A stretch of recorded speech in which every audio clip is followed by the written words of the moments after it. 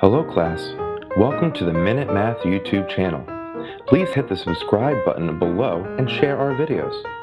You can also find great math content and links to all of our videos at www.minutemathtutor.com. Alright now, enjoy the lesson. Hi, I'm Sean Gannon, and this is Minute Math, and today we're learning about proportion word problems. We're going to answer each question and round your answer to the nearest whole number.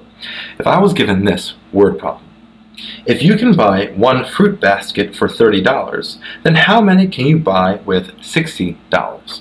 So let's go set uh, what we know here. We know one fruit basket, so we have the number of fruit baskets here.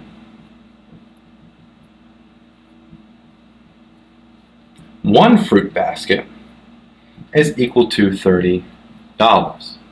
How many fruit bas baskets X can we buy with $60? All right? Let's set up a proportion. 1 over 30. One fruit basket for $30 is equal to X fruit baskets over $60. Now let's cross multiply.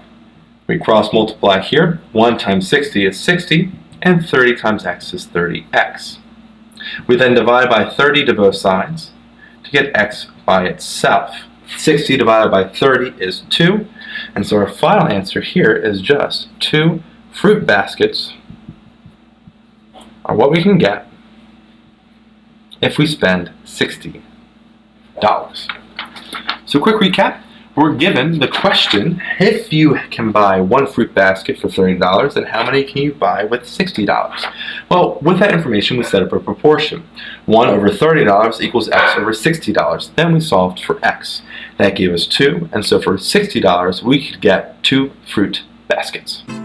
Hi, I'm Sean Gannon, the creator of Minute Math. And if you like this video, please hit the like button that's right there. If you have a mathematical question, just add it to the comment section below.